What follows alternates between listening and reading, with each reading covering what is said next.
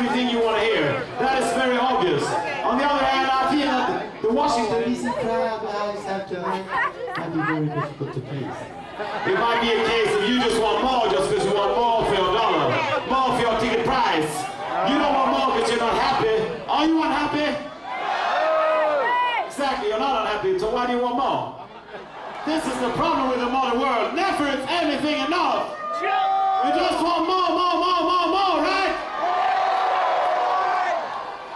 Well, I know something shut you up. Ladies and gentlemen, this will be our last song this evening.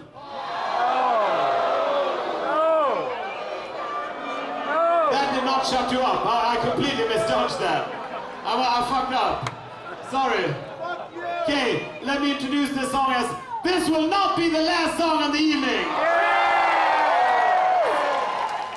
But it's a song you probably want to hear. So, as soon as the song starts, everybody scream as loud as you can and go fucking crazy. Because I know you can't help it anyway. But this is a bona fide classic. Yeah, such as like Odysseus or a classic such as in Catch 22 or you know a classic as in The Godfather 2 or a classic. You know what I'm talking about? Star Wars. That type of classic.